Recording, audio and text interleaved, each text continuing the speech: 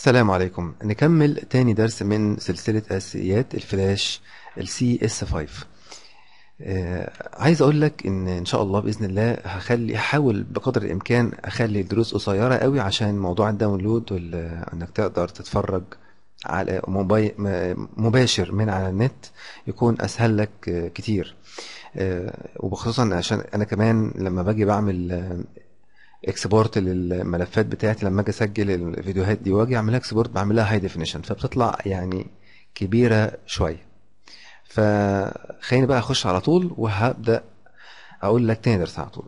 هنفتح فلاش action script 3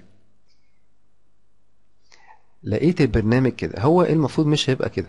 هو المفروض أنت لما بتبقى لسه مسطبه بيبقى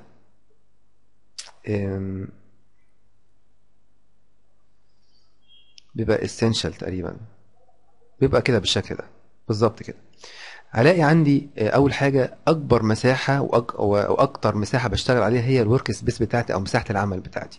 أنا شايفها هنا عندي لونين. هنا ال active area البيضة اللي بتظهر فيها ال objectات وهنا اللي ما بتظهرش فيها. يعني أنا لو عملت آه، مستطيل كده. وعملت كده من النص وجيت renderت أو عملت كده شايف هو باين لي النص بتاعه بس. فإذا المساحة البيضة دي هي فقط اللي أنا آه، آه، اللي أنا هشوفها في ال- movie بتاعي. ده مساحة ال movie بتاعي. طيب الناحية التانية اللي هي ال- ال- الرصاصي ما بشوفش فيها حاجة. دي كانت أول حاجة. تاني حاجة ال timeline وده أهم حاجة في الفلاش كله أو في أي برنامج من شركة ادوبي هو عبارة عن layers الحتة دي عبارة عن لايرز هنا أو طبقات و frames. ال frames ده كل ده هنتكلم عليه بالتفصيل إن شاء الله.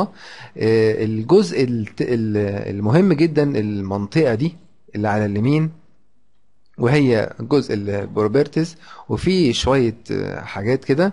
وجزء ال tools بالشكل ده ده كل ده أدوات الرسم والكلام ده كله. الحاجة آه، اللي أنا عايز أعرفها مهمة برضو المنطقة دي ودي بيبقى فيها شوية buttons كده هنعرفها.